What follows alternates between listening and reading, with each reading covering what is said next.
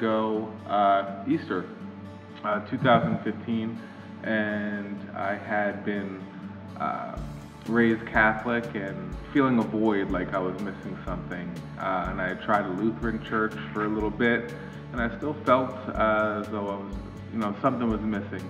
And um, just so happens that uh, I ended up in this parking lot on on Easter of last year, 2015.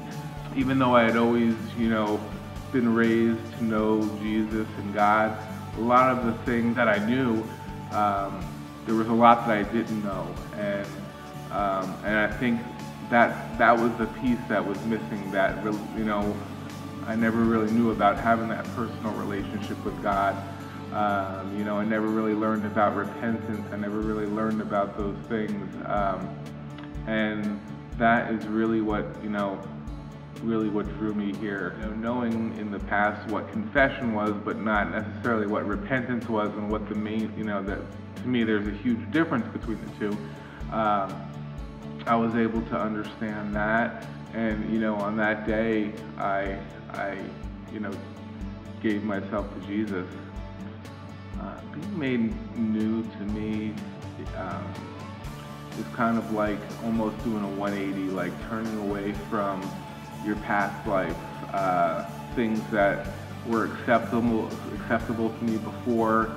Uh, you know, I really didn't think so much about uh, you know how my actions were not only impacting, you know, most importantly, you know, Jesus, you know, and, and God and, and the way He wanted me to live, but also how they were impacting other people. And I understood that I had to kind of uh, turn away from behaviors and things that I may have rationalized to have been acceptable.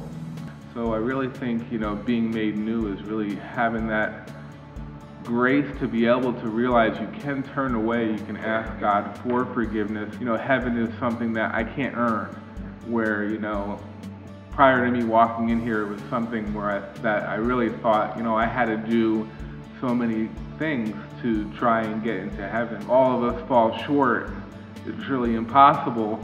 Uh, so I think that's one of the reasons I was missing something. There was something in a void because no matter what I did, then something would happen and you'd fall back a little bit, and that's kind of what you focus on. And then I had that guilt and that, and, and that kind of drew you down.